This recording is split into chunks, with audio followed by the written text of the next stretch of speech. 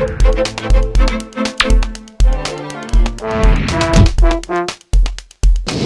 with your gnarly news at noon, I'm Sean Merinar for the GNN News Team.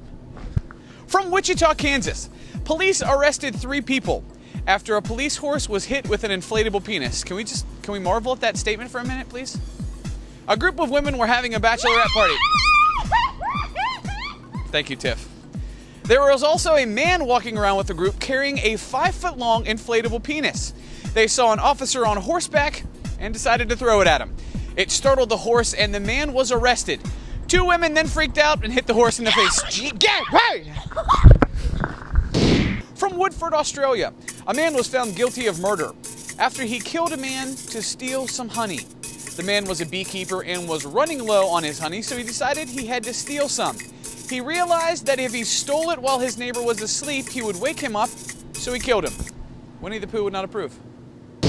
From Bismarck, North Dakota, a man was arrested for failure to control his vehicle after he was found asleep in the front seat of his car.